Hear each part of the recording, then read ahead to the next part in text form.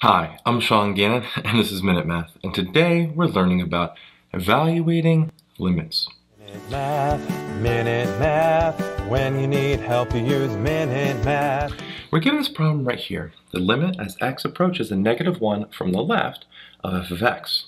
And f of x is equal to the piecewise function negative x minus 8, where x is less than or equal to negative 1, and negative x squared minus 4x minus 4 when x is greater than a negative 1. We can see that in our graph here that's provided. Now notice here, they said we have to find when x is approaching a negative 1.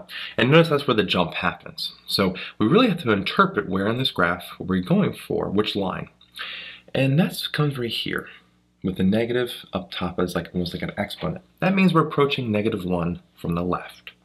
So we look at our graph there and we're approaching from the left, right? And we see the equation that's going downwards, right? So we're approaching negative one from the left and the equation sloping downwards and it actually hits that point right there.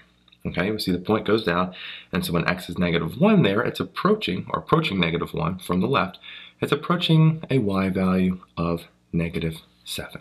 Okay, so we see that it's approaching down there to the negative 7, and so our limit here right? I'm going to rewrite this, I guess. Limit as x approaches a negative 1 from the left of f of x is equal to a negative 7 right there. I hope this video was helpful for you. And if it was, please subscribe to this YouTube channel and like this video. This helps us make more free math lessons for you and for everyone else. So as always, thanks for watching. Minute Math, Minute Math, when you need help you use Minute Math.